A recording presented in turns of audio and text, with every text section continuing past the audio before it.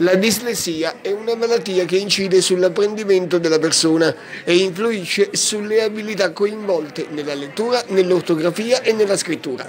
Se ne è parlato in un convegno venerdì 24 febbraio all'ITET Alighieri di Cirignola nel Foggiano, organizzato insieme al Lions Club, Istituto Comprensivo di Vittorio Patrebio, Club UNESCO Fantino.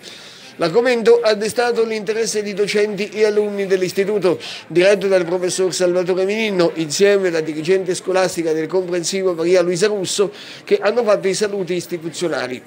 Sono intervenuti i rappresentanti degli enti citati, Rinaldi del Lions Club, Rosaria di Gregorio Club UNESCO.